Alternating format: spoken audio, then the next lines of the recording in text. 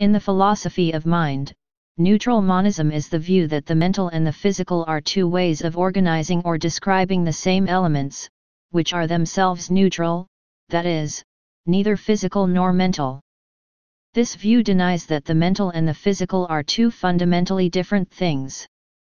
Rather, neutral monism claims the universe consists of only one kind of stuff, in the form of neutral elements that are in themselves neither mental nor physical. History Neutral monism about the mind-body relationship is described by C. D. Broad in one of his earlier works, The Mind and Its Place in Nature.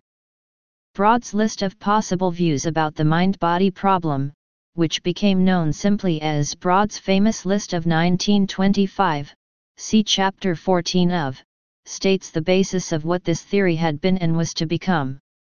There are few self-proclaimed neutral monists, most of the philosophers who are seen to have this view were classified after their deaths. Some examples of this are Baruch Spinoza, David Hume, Ernst Mach, Richard Avenarius, Kenneth Sayre, and Joseph Petzoldt and Jonathan Westphal. Earlier, William James had propounded the notion in his essay Does Consciousness Exist? in 1904, reprinted in Essays in Radical Empiricism in 1912. Whately Carington in his book Matter, Mind, and Meaning, 1949, advocated a form of neutral monism. He held that mind and matter both consist of the same kind of components known as cognita or sense data. According to Stephen Stich and Ted Warfield, neutral monism has not been a popular view in philosophy as it is difficult to develop or understand the nature of the neutral elements. Bertrand Russell in 1921, Bertrand Russell adopted a similar position to that of William James. Russell quotes from James's essay Does Consciousness Exist? as follows. My thesis is, says, that if we start with the supposition that there is only one primal stuff or material in the world, a stuff of which everything is composed, and if we call that stuff pure experience, then knowing can easily be explained as a particular sort of relation towards one another into which portions of pure experience may enter. The relation itself is a part of pure experience, one of its terms becomes the subject or bearer of the knowledge, the knower, the other becomes the object known, p4. Dot. Russell summarizes this notion as follows.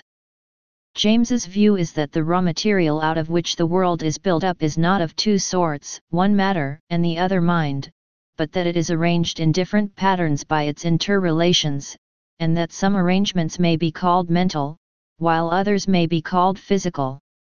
Russell observes that the same view of consciousness is set forth in James's succeeding essay, A World of Pure Experience, IB, pages 39-91. In addition to the role of James, Russell observes the role of two American realists.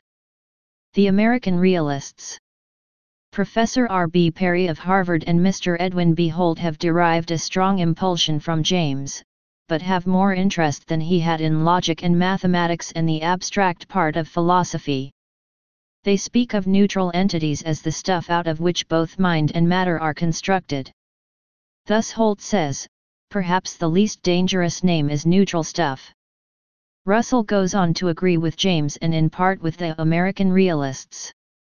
My own belief for which the reasons will appear in subsequent lectures is that James is right in rejecting consciousness as an entity, and that the American realists are partly right, though not wholly, in considering that both mind and matter are composed of a neutral stuff which, in isolation is neither mental nor material. David Chalmers David Chalmers considers the consciousness of rocks as well as thermostats, although he eschews the notion that rocks are conscious.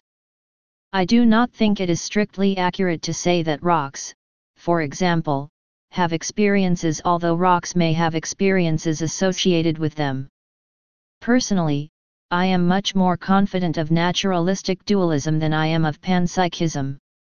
The latter issue seems to be very much open. But I hope to have said enough to show that we ought to take the possibility of some sort of panpsychism seriously, there seem to be no knockdown arguments against the view, and there are various positive reasons why one might embrace it.